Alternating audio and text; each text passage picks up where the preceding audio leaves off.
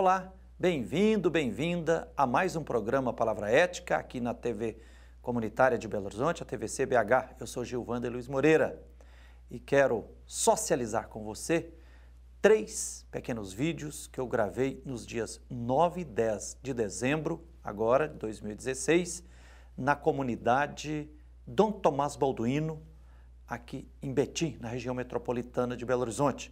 Uma ocupação que se tornou uma, uma comunidade em franco processo de consolidação, cerca de 120 famílias que já construíram lá 110 casas e que está sofrendo uma grande pressão da especulação imobiliária, colocando em risco a continuidade é, da comunidade lá. Preste atenção.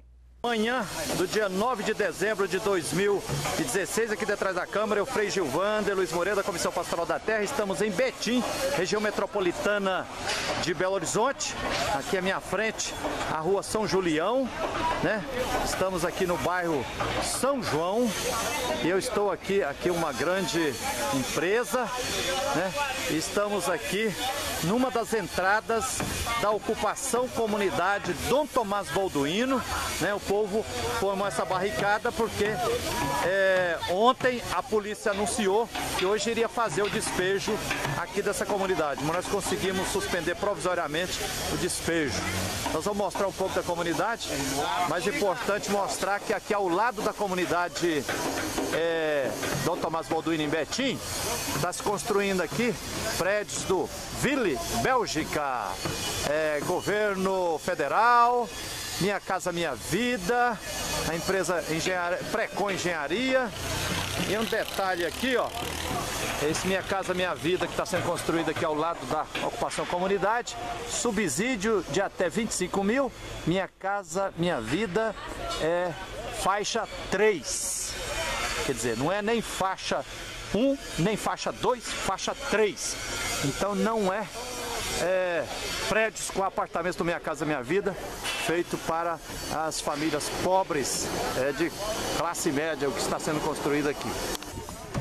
Aqui uma visão panorâmica aqui é, da ocupação comunidade Dom Tomás Balduino. Né? Aqui nós estamos na continuidade da rua São Julião. E o que dá para sentir aqui que aqui não tem nada de área de risco onde nós estamos aqui, né? Terminou agora há pouco uma assembleia e aqui em cima demonstrado aqui, ó, Rua São Julião. Tem até CEP, né? 32 655 564. E à esquerda, Rua Manuel Bahia. Tá aqui, né? Rua Manuel Bahia. Manel Bahia foi o companheiro da coordenação da ocupação é, Vitória, lá da região da Isidora, que foi assassinado lá e a comunidade aqui homenageou ele. Então vamos mostrar um pouco a visão panorâmica aqui da comunidade. O nível de consolidação aqui se trata. Aqui é cerca de 110 famílias, é, não é um aglomerado, é de fato uma comunidade em franco processo de consolidação né? Conserta-se roupas. Bom dia, beleza? Joia. As casas todas de alvenaria. Né? Não estou vendo casa aqui é, com madeirite. Então você vê. Isso tudo aqui que estava para ser derrubado hoje, mas com muita sensatez. O promotor de justiça, Dr. Luiz Felipe, é, e o juiz, doutor Adalberto, e uma desembargadora suspenderam provisoriamente aqui, porque a prefeitura de Betim tinha conseguido eliminar alegando que aqui era área de risco, mas agora estão dois geólogos é, observando a área aqui. Carlos, meu irmão, você que é da coordenação aqui da ocupação comunidade Dom Tomás Bolduino, é verdade esse laudo que a Defesa Civil da Prefeitura de Betim fez aqui, alegando que aqui é área de risco geológico e que por isso é, teria que derrubar 110 casas? Eu acredito, bom dia, eu acredito que não, pelo seguinte, que se existe que área de risco 15 ou 20% do espaço, não quer dizer que tem que tirar a maioria, que tem 120 famílias. Então acredito que 10 ou 15 pode ser removido para área mais segura, firme e que a maioria fique em seus espaços até ser resolvido. E do lado a gente tem uma construção aqui que até então está dando muito transtorno para a gente, tá? Eles, é esses prédios atrás? Com certeza, estão alegando que não conseguem. Que é do Minha Casa Minha Vida, faixa 3, né? Positivo. Né? E segundo eles, é, não estão conseguindo vender os apartamentos dele motivo da ocupação, sendo que ninguém aqui só tem trabalhador, ninguém envolve com nada de errado. Até então é um espaço da comunidade, é tudo tranquilo. E eles estão alegando isso. Inclusive também na parte de baixo tem um conjunto de prédio habitacional lá que é do Ciro Pedrosa, segundo a informação, acredito sim que a informação é correta. E aí eles Quem estão... que é Ciro Pedrosa? Ciro Pedrosa, pelo que estão informando pra gente, é irmão do Carlyle Pedrosa, prefeito de Betim. E aí também. E também é um condomínio. Um condomínio, mas importante. no Vila Alpina. Ele está no Vila Alpina próximo, ao, a, a, ao espaço aqui do é, ocupação do Tomás Balduino.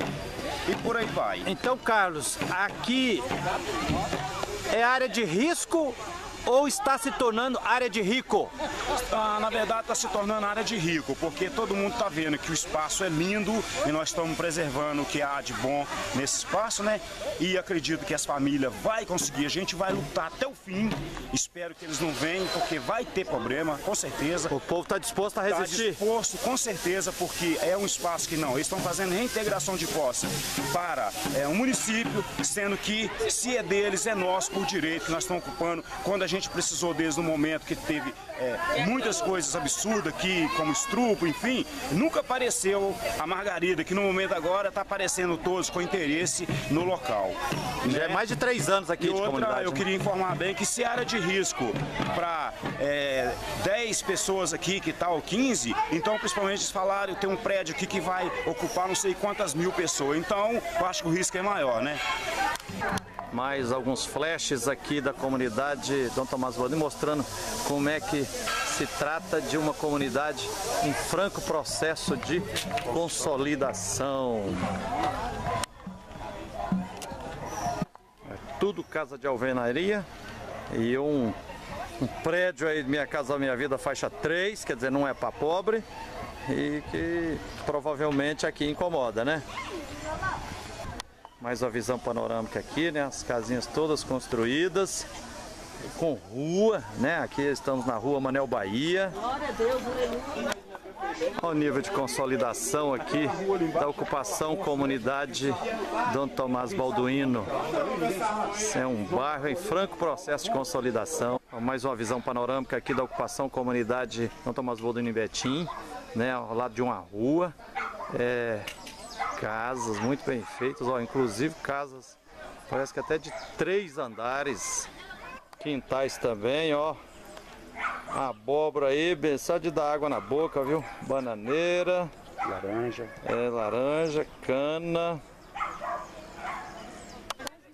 Débora, na luta aqui na comunidade Dom Tomás Balduino, né? Com certeza. É, são suas filhas? Somos. Como é que chama? Natasha. Natasha? Tawane. Tawane. Que maravilha.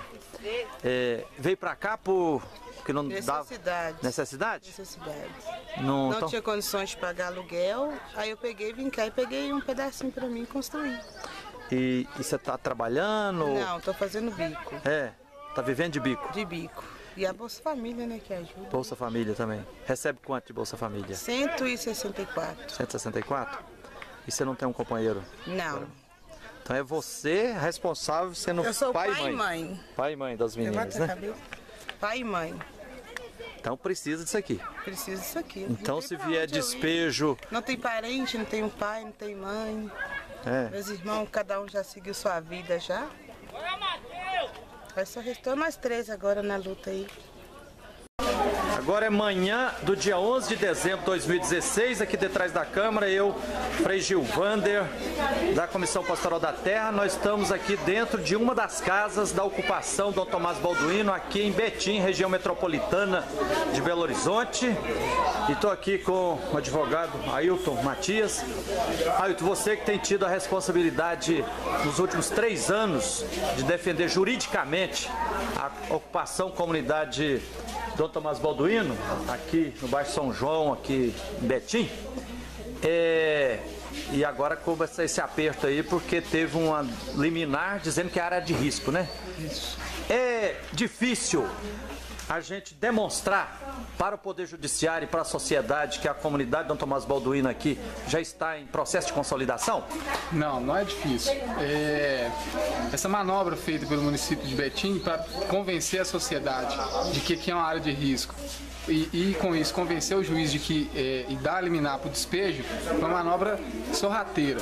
É, a gente tem algumas fotos aqui demonstram o processo de consolidação de todas as casas, né? São casas de alvenaria, né? Com casas com laje batida, telhado. Aqui, Ailton, tá, doutor Ailton, tá mostrando aqui um prédio, uns prédios aqui do lado, né? Aqui é um empreendimento da construtora Precon, né? Que desde o início desse ano de 2016 tem feito, é, construído esse condomínio, né? E tem exercido forte É Minha pressão, Casa Minha Vida, faixa 3? Faixa 3. Hum. E tem feito forte pressão na, na, na, no poder público, né? Financeiramente também, para que retire a ocupação daqui, porque está atrapalhando as vendas deles, né? Porque o pensamento deles é de que as casas atrapalham o empreendimento deles. Hum. Então a manobra da prefeitura foi, tirou, pegou um caso muito específico de, de, de, um deslizamento de terra que atingiu uma casa que não estava habitada, estava ainda em construção e não ofereceu risco à vida de ninguém e somente com aquela justificativa queria despejar 120 famílias. Publicou e republicou por várias vezes no jornal, mostrando aquilo como justificativa. Aqui a gente tem várias fotos que não representam, na verdade, nem metade das casas da ocupação, mas que demonstram o processo de solidificação, né? E que não há risco de, de desabamento na, na, na, na maioria das casas. Né? Tô vendo aqui até casa já de dois andares? Isso aí é, são, são, são construções muito bem feitas, né? O pessoal aí da construção civil aqui na, na comunidade tem muita competência para fazer isso e aí a gente vê que são casas que não, não tem nenhum risco de desabamento. E aí é, fica comprovada a má fé tanto do jornal quanto da prefeitura e daquele, dos especialistas da, da, da Defesa Civil que estão condenando por causa de um barranco que não, não, ocupa nem 10 metros, querem condenar uma área de 17 mil metros. Olha essa casa, doutor Ailton. A casa super bem feita, né? E o barranco muito bem seguro aqui, segundo inclusive os geólogos que estiveram aqui ontem, né? Três geólogos, um arquiteto, professores da PUC, da UFMG estiveram aqui ontem e garantiram que, que todos esses barrancos aqui que, que a gente viu nessas fotos estão tranquilos, não tem risco de desabamento. A gente vê aí as casas muito bem acabadas, né? Os lotes é, com, com, frutas e várias plantações que asseguram também o solo, né? É, de fato, olha aqui, uma visão um pouco panorâmica aqui. Sim. Comunidade Dom Tomás Balduino em franco processo de consolidação, né? Exatamente. Aqui é uma descida aqui. Você vê que todas as casas muito bem é, planejadas, muito bem feitas, né? Que mostram que a, que a ocupação está muito bem consolidada. Okay. Então, é, é, essas fotos demonstram que o, que o, que o município de Betim e o jornal o Tempo, que é do, do futuro prefeito, que foi é, prefeito eleito, tem agido com má fé, né? Tem, tem inventado mentiras com relação à ocupação para justificar um despejo injusto é, querem convencer a sociedade de que as famílias que estão aqui estão em risco. Elas não estão em risco. A gente tem é, um laudo, esse laudo vai ser apresentado para a desembargadora, vai ser apresentado para o juiz da primeira vara civil, de que alguns pontos específicos da ocupação têm o risco, mas esses pontos estão isolados e não tem nenhuma família morando. Já a, as famílias que estavam nessas áreas na do barranco já foram removidas? Foram removidas, já estão em um local seguro dentro da própria ocupação e essas áreas foram isoladas e nenhuma família está em risco nesse momento. Então, quer dizer, a própria comunidade Dom Tomás Balduino, resolveu com o apoio dos movimentos sociais, resolveu o problema. E é bom ressaltar que é um problema que foi criado pelo município de Betim, porque nós tínhamos um acordo com o município de Betim de que que a Defesa Civil, junto com os, os profissionais indicados por nós, iriam fazer esse laudo em 2014. Não fizeram, aprovaram um empreendimento do lado gigantesco e esse empreendimento tem prejudicado o solo, conforme o laudo que a gente vai ajudando a causar ajudando a causar os deslizamentos que estão acontecendo aqui na Dom Tomás. Então a comunidade em franco processo de consolidação e tem grandes interesses grandes econômicos, interesses econômicos em volta. Tem a construtora Precon que tem prejudicado muito o solo aqui por causa do peso da construção e tem o poder econômico aqui que o empreendimento do Vila Alpina, o Ciro Pedrosa, irmão do prefeito Carlalho Pedrosa, é um dos sócios da empresa que está fazendo o loteamento e também a pressão da, da Precon e também é, é todo o interesse econômico capitalista que está por trás disso tudo. E agora, de plantão, a desembargadora prescreveu levar para a mesa de negociação Sim. na próxima terça-feira, né? Importantíssimo com a apresentação desse laudo. É, a gente é, conseguiu a marcação dessa reunião na mesa de negociação do Estado para que a gente resolva essa situação da melhor maneira possível, que é cumprir esse acordo que foi feito em 2014, assinado pelo prefeito Carvalho Pedrosa, por vários secretários da atual administração e que a gente espera que seja cumprido, seja por qual prefeito for, porque o compromisso foi assumido pelo município de Betim, que é entregar essa, esse terreno para as famílias fazerem autoconstrução e urbanizar o terreno, como elas já têm feito há muito tempo com a ajuda dos profissionais habilitados, geólogos e arquitetos, os profissionais que acompanham essa família desde sempre. Ok, muito obrigado, doutor Ailton. Gravando aqui então é o Frei Gilvander, da Comissão Pastoral da Terra, aqui numa das casas, né? É, aqui da ocupação comunidade Dom Tomás Balduino, em Betim, região metropolitana aqui. Aqui será uma injustiça que clama aos céus despejar essa comunidade aqui. Tem que ir no rumo de urbanizar, né, trazer rede de energia, de água, de saneamento, né? Que é isso que o povo está reivindicando aqui, é só um direito humano fundamental, direito à moradia. Um abraço, Frei Gil Vander. É isso aí. Nós vamos a um pequeno intervalo e voltaremos já já para continuarmos veiculando aqui entrevistas que eu gravei na ocupação comunidade Dom Tomás Balduino de Betim, aqui região metropolitana de Belo Horizonte. Espere aí e voltaremos já já.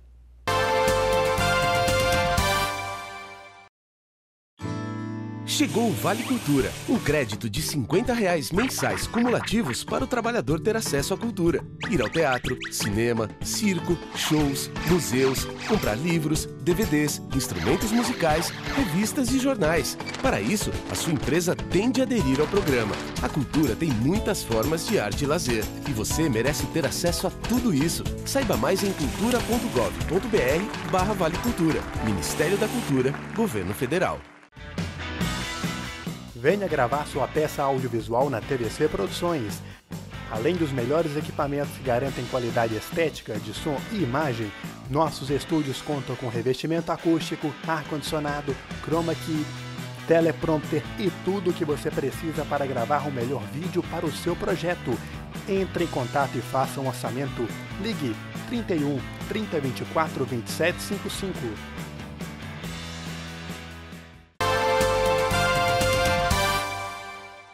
Estamos de volta com o programa Palavra Ética, hoje socializando com vocês aqui três reportagens que eu fiz nos dias 9 e 10 de dezembro, último 2016, na ocupação comunidade Dom Tomás Balduino, em Betim. É, comunidade fruto de uma ocupação com cerca de 120 famílias, comunidade em franco processo de consolidação que merece ser consolidada, é, reconhecida pela prefeitura, pelo poder público e não pode ser despejada. Preste atenção. Alcione, que também é da coordenação aqui da querida ocupação comunidade Tomás Balduino. Com um suco gostoso aí, né? É. Na luta para impedir o despejo, né? A luta, nós vamos lutar até o fim. Aquela ali é a reunião que, que nós estamos ali com a coordenação e o povo da segurança, né? Para nós discutir né, sobre o despejo. E nós estamos aqui ajudando todo mundo, um unido com o outro, dando dinheiro, dando suco. E para nós unir aqui a força para nós conseguir ficar aqui, né? A Defesa Civil de Betim veio e fez um laudo e falou que a área de risco geológica é que tem que, que derrubar desocupar. todo mundo. O povo aqui percebe que aqui é área de risco? Tem, aqui tem área de risco, mas também tem, tem área que não é de risco. Tem a área aqui que a gente sabe que é sólida. Ô Josi, apresente para nós a família sua que está aqui na luta, na ocupação comunidade Dom Tomás Balduino aqui em Betim. Bom, eu sou Josiana Iara, de 15 anos. 15 anos. Lisa Sibeli, de 12. 12. Fernando Henrique, de 8. Heloísa, 44. O meu mais velho no momento não se encontra, tem 14, o João Vitor. Então, quer dizer, você é um casal e vocês têm quatro filhos. Sim.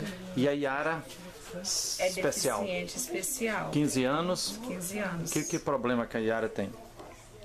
Ela está na, na cadeira desde. Desde quando, quando nasceu. É. E ela não. Não, ela não fala. E tem que fazer acompanhamento, assim, médico, tem, é, fisioterapia, dia, como é que é?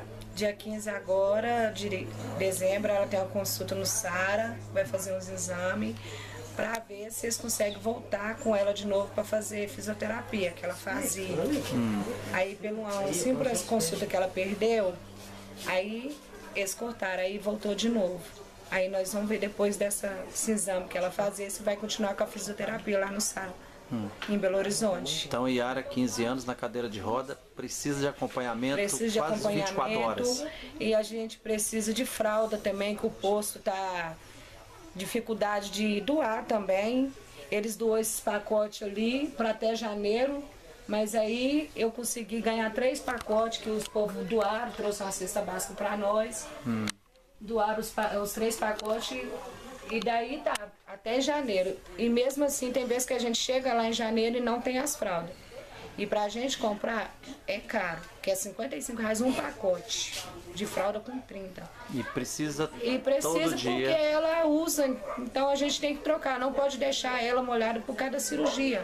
Mas ela faz uso de bombinha, que é o sabutamol, que é bronquite crônica.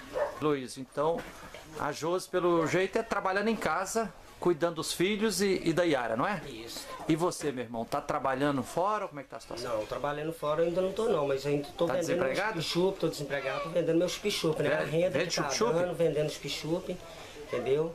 A dificuldade é bem crítica mesmo, mas tá dando para levar. Um ajuda aqui com a cesta, outro ajuda aqui com a flauta, igual a irmã dela mesmo, tá ajudando pra caramba a gente ir numas flautas pra Yara hum. e tal. Ela tá é assim, tá arrecardando na igreja, arrecardando pros amigos do serviço e tudo. Hum. E tá ajudando, e tá dando para levar, né? Mas fome, graças a Deus, já não estão passando ainda não. Mas se ninguém ajudar, aí o Mas, trem pega mesmo. Viu? Então, é, sobrevivendo com chup-chup? Isso. E a Yara recebe? A Yara recebe o bolsa, é é um salário Auxílio, é um salário mínimo que ela ah, um, pela deficiência isso, recebe um salário isso, por mês. Isso, por Até o chup-chup e um salário da Iária que está sustentando seis isso, pessoas na família. Isso. Meu irmão, por que, que vocês tiveram que vir ocupar aqui esse terreno aqui na é ocupação gente, comunidade de Dom Tomás Balduino? É porque a gente estava no aluguel, né? E a gente não estava aguentando pagar o aluguel mais. E se eles tirar nós daqui, nós não tem que caçar um aluguel. E agora, com um salário mínimo, tem como você pagar um aluguel, fazer a despesa dentro de casa, água, comprar fralda, água e luz? Com a renda de chup-chup? Não In, tem. Impossível, né? É impossível. Então eu acho que deveria pensar o quê? Ajudar o próximo. Porque tem muita gente aí que tem casa, que não precisa, muitos prefeitos, vereador, tudo tem aí. Ô Josi, mas a Defesa Civil de Betim está alegando que aqui é área de risco. Eu não, eu não me considero essa parte que eu estou na área de risco. Eu não me considero, porque veio chuva. Não, essa não é a primeira chuva. Veio chuva, veio chuva de vento, que as telhas levantava. Graças a Deus, nós ficou dois dias sem luz. Aí rebentou, a semig veio e arrumou. E também você não está na área do barranco aqui, não, né? na área do barranco. É igual eu falei, se Deus me deu, eu tenho muita fé em Deus. Então, eu vou confiar nele, que só ele pode dar a última palavra. Ok. Heloísio, a comunidade toda aqui é área de risco? Não. Aqui é só a parte de baixo, estamos que não estamos em área de risco. Entendeu? E pegar com Deus mesmo para ver se eles deixam a gente quieto aqui. Não só nós, os de lá de baixo também é um local para eles Acho também. Que, é a que a gente não pode pensar geral. só na gente. Comunidade geral. E lá de baixo é o número pequeno, não é? É, o, o pequeno. pequeno. Olha, tomate aqui, certamente sem agrotóxico, viu? Essa é a Doroteia, a galinha do Atos. O nome da galinha é Doroteia. Mais uma visão panorâmica aqui da ocupação comunidade Dom Tomás Baldino, mais uma rua aqui, a rua Lousada. né? Veja aqui, um monte de casas aqui que não estão em área de risco. João Carlos e Ana Paula. Mora no barraco aí no fundo, né? Isso. E agora, e essa história de despejo aí? Pois é, pra mim, no meu caso aqui, porque nós já sofremos demais, agora eu já falei, a crise tá demais. E ela aqui faz trabalho faxina, é, é três dias por semana, talvez é três, tem semana que é dois dias. E você tá trabalhando ou tá desempregado? Desempregado, tem dois anos. Sou batalhador, o Carlinho aqui mesmo sabe disso, que eu sou camarada trabalhador. E nós Beleza. Tem até vergonha, sinto vergonha, falei, por isso que tá acontecendo isso aí, eu vou batalhar por ela, porque tudo que tá acontecendo, que a construçãozinha dois cômodos ali, é ela, que tá bancando tudo sozinha. E eu, desempregado, eu falei assim, eu vou lutar por ela agora. Luto por ela, morro aqui de baixo que pode derrubar tudo em cima de mim. Eu me tiro a força, eu deixo ela vai derrubar em cima de mim. Que agora é minha vez de eu lutar por ela. Porque eu não tenho nada Então, despejo não pode vir não, né? Despejo não pode vir. Na não Paula. pode vir porque nós somos. Então você tá sobrevivendo fazendo faxina? Exatamente. Como diarista? Isso. E aí ganha quanto? 100, 100. Ai, meu filho. 100 cada dia. É. E aí não é todo dia que vai não. Não é toda semana não. É. E aí também se fazendo, cuidando do quintal aqui. É, isso, fizemos. Quiabo, Quiabo, almeirão, As machixe, Ah. Fazendo um pouquinho pra não... almeirão, machixe. tomate, tinha cebola, mas né, acabou. Oh, que beleza. É, feijão, Feijão. Que beleza. é, Então não pode vir despejo não, né? não, pode não. Não precisa de não pode não. É, é Tira o só, sono né? do povo, né? Tira. Ele tá cansando demais. Eliane, na luta por moradia aqui na ocupação comunidade Dom Tomás Balduino, né? Isso. É, presente a sua família. Quem faz parte da sua família? Meu nome é Eliane, né? Eu tenho ah, é, essas duas aqui que tem sete anos, não, oito anos, são as gêmeas, e mais os demais não estão aqui, né? Então, ao São- total, são sete filhos que eu tenho. Sete E filhos. Meu esposo. E você tem Só- esposo? É, tem. Aí a gente veio pra cá nessa luta aí, tre- vai fazer três anos, né? Porque eu vim pra cá sem, porque não tinha, não tive opção, né? Não tenho quem me ajudasse a, a, a cuidar dos meus filhos, né? Um lugar assim decente. Mas o pessoal aqui da comunidade já me, já me encaminharam para outra casa, né? E de tijolo, né? Tudo certinho. A gente agora vai estar saindo, já- a gente já está de mudanças, né? Para essa casa. Saindo aqui do barraco de madeirite que vocês construíram aqui é, do lado do barranco aqui, né? Isso. E a comunidade está acolhendo vocês em outra casa de alvenaria dentro da comunidade? Dentro da comunidade. Na, numa área mais segura, né? Estão tirando a gente das áreas mais afetadas e levando para aquelas áreas mais. é, mais planas, né? É, Para não ter. Segura, perigo. né? É. Eliane, e você, seu esposo, com sete filhos, vocês estão trabalhando ou estão desempregados? Não, aqui, o meu esposo está trabalhando, mas não dá para manter. Ele mexe com o quê? Ele, ele é pedreiro. Trabalha com pedreiro. E você não trabalha fora de casa, não? Estou desempregada. Eu trabalhava até umas Então, para sustentar os sete filhos, não é brincadeira, não? Não é, não. Como é, como é que você sustenta? Ah, a gente né, faz o que pode com, com o, o, o dinheiro que. O, salário que ele recebe e a gente também é, é aceita doações. O pessoal ajuda a gente bastante. Cesta básica? Cesta básica. Você recebe Bolsa Família? Recebo. Quanto? Ah, é 220. 220. Por várias crianças, né? É, com sete. Pelas sete crianças. Ok, parabéns pela luta e que bom que vocês aceitaram sair aqui da área de risco e que bom também que a comunidade já acolheu vocês em outra casa de alvenaria, muito melhor do que esse barraco aqui, né? É, e agora para ficar na área que não é de risco, né? É, graças a Deus e a comunidade aqui é, é todo mundo unido, né? Então, um ajudando o outro, tirando do risco levando para as áreas mais seguras, pra, porque a gente precisa desse lugar. A gente não tem para onde ir, não temos salários assim que possam é, ir comprar um apartamento. Porque para comprar um apartamento você tem que ter mais de três, salários mínimos.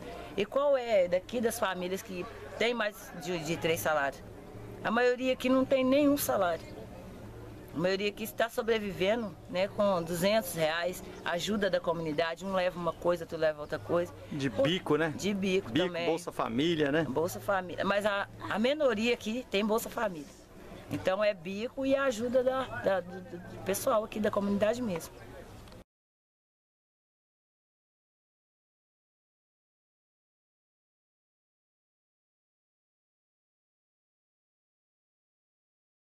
É isso aí, obrigado pela atenção. Esperamos que esse programa tenha lançado luzes sobre o conflito fundiário e social que envolve diretamente 120 famílias da ocupação comunidade Dom Tomás Balduino de Betim, aqui região metropolitana de Belo Horizonte, porque é, se aconteceu lá algumas áreas de riscos pontuais, o principal lá é porque a área se tornou área de rico, né, do lado com grande especulação imobiliária. Então, é, o direito à vida e os direitos sociais têm que estar acima do direito à propriedade. Obrigado pela atenção e até o próximo Palavra Ética.